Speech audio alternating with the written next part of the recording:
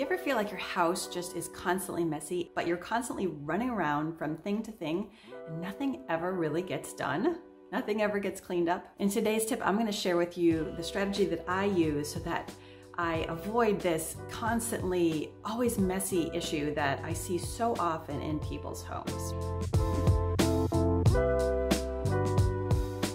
I call this the finish what you started strategy. Okay, and so here's how it works.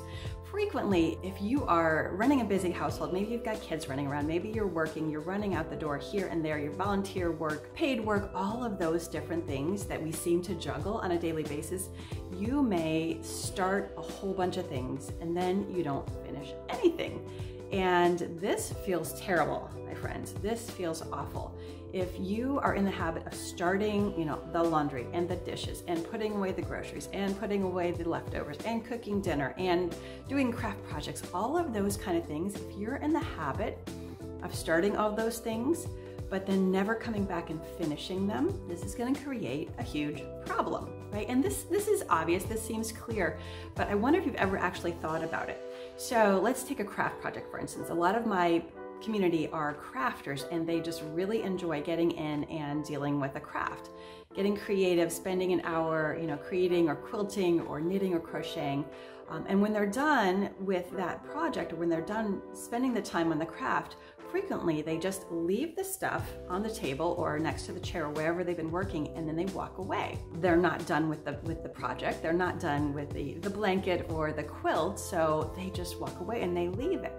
Well, the problem is then that that space is still taken up by the craft and things are left undone. Things are left unfinished. And so what I recommend that people do is start thinking about this project in a little bit of a different way. Okay, so if you have an hour to spend knitting a blanket, instead of just setting down your knitting when you're done, take five minutes or maybe even 30 seconds at the end of that time and just tidy up, okay? Tuck your knitting needles back in the bag, wrap up the blanket, put things away, you know, maybe just even pushing in the chair of the, the place where you're sitting. Just spend a little bit of time and don't consider yourself done until you've cleaned up the area that you were working on. I promise you, this is a very small thing, but it can absolutely change your life. Here's another way to look at it. Let's say, for instance, you have laundry coming out your ears. The washing machine and the dryer are just running constantly, uh, you know, day in and day out, or at least it feels like that. Well, if this is a problem for you, then the first thing I recommend is that you declutter at least half your clothes. And we can talk about that in another video. Cutting back on the amount of clothing that you have in your home will absolutely reduce the amount of laundry that you have to deal with on a daily basis. But whether or not you declutter, you can still change the way the laundry functions in your house. And here's how you do it. You make sure that you do one load of laundry from beginning to end before you start another one.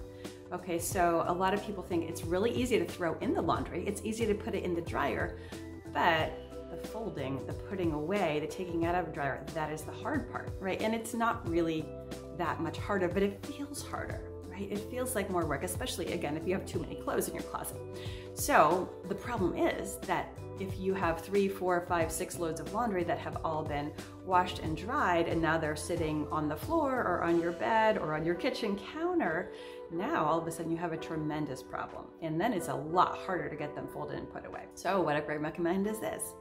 Make a rule that you only do one or maybe two loads of laundry from start to finish and you don't get to start a new load until you have put away the old one right? If you put that simple rule in place for yourself, I promise you, laundry, you may not love it, but it is not going to be the same amount of challenge and stress and, uh, you know, mountain that it currently is for you. Again, I want to encourage you to look out for where are you stopping short of finishing a job and do you need to redefine what it looks like to finish a job. Maybe it's cleaning up your kitchen after dinner. You know, you have dinner, you cook, and then you walk away Well, guess what? Dinner's not over until the kitchen has been cleaned up.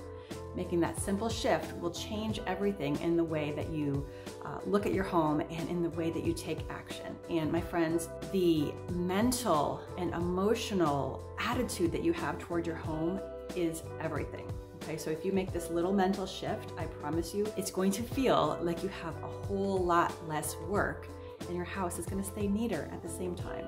Isn't that a fantastic bonus? So to recap, finish what you started. Be sure that you are defining your projects and your tasks and activities in terms of where is my end point and don't just walk away and leave them unfinished. Promise you it can change your life.